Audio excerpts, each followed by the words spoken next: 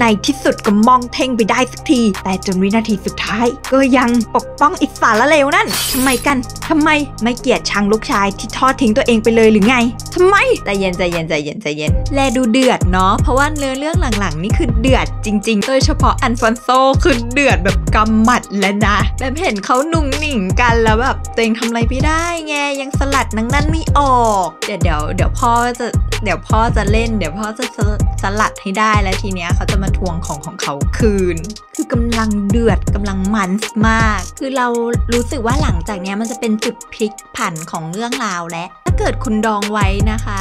กลับไปอ่านด่วนๆเลยค่ะเดี๋ยวคุณจะไม่ทันเหตุการณ์เด้อ